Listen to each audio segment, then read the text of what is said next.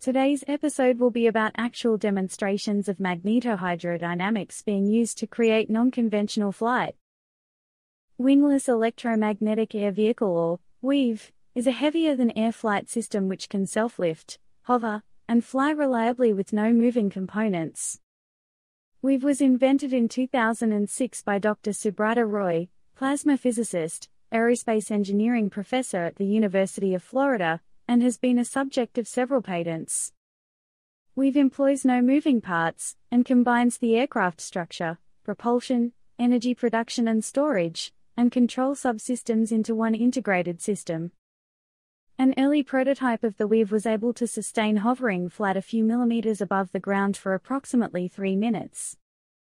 Prototypes of varying radio were also successfully tested, suggesting scalability of the design.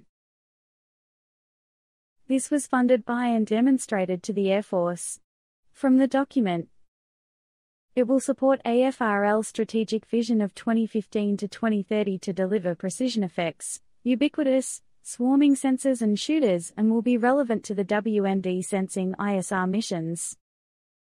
With a flight profile similar to a spinning disk, we will be able to soar for long periods of time and utilize EHD thrust to acquire and maintain desired altitude and attitude.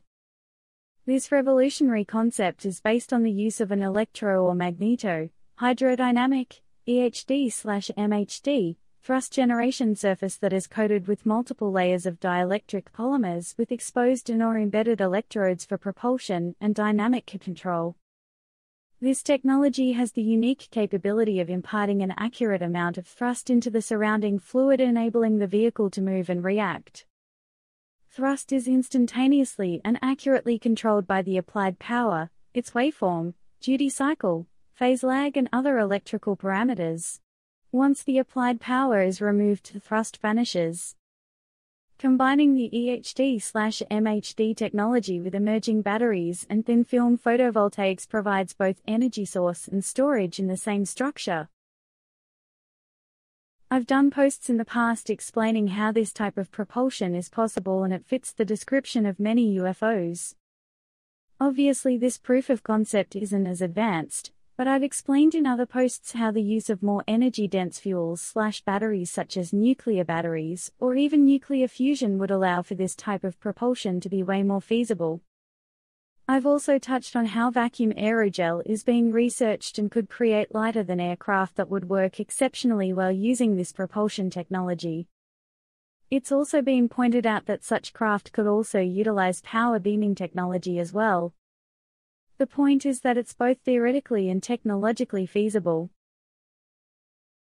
But that's not practical, you might say. My response is that it would make for great stealth aircraft, so it's definitely practical. It explains no wings, propellers, noise, or signature of any kind.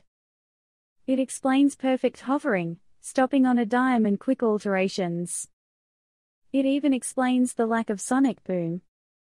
It can also be used to become invisible to radar, but not infrared, which is another one of the observations. It sounds like a very practical stealth craft to me.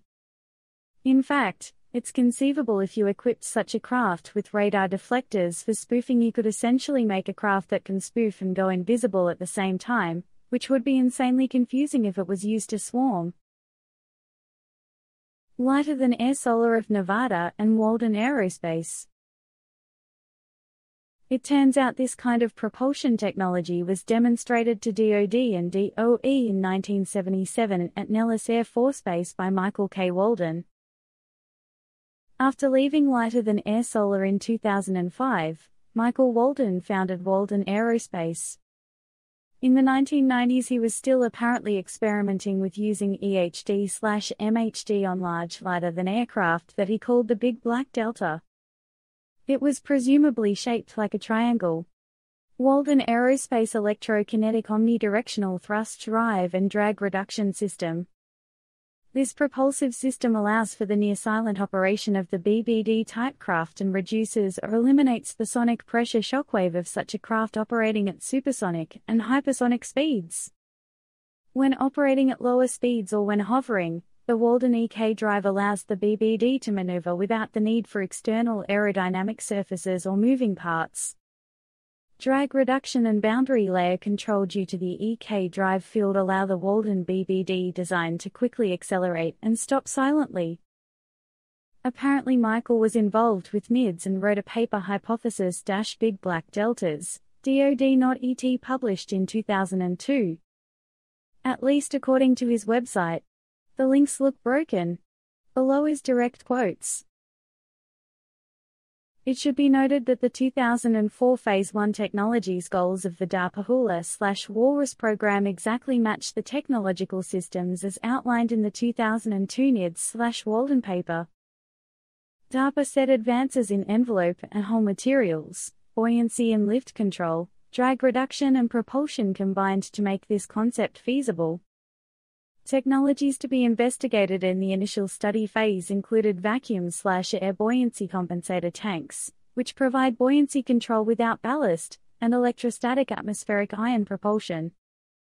While aerospace experts at the time of the 2002 NIDS paper publication said that they did not think the Walden EK drive was possible, it should be noted that Mr. Walden had not only built and flown a self-powered rigid composite aero-shelled airship with such a drive a quarter century before he wrote the NIDS article, he built and flew another newer EK Technologies flight test airship model with fully skin integrated, electronically steered with no external aero surfaces and no moving parts, EK Propulsion in 2003 and let members of the NIDS board of directors fly it as proof of the concept in his paper in August of 2003.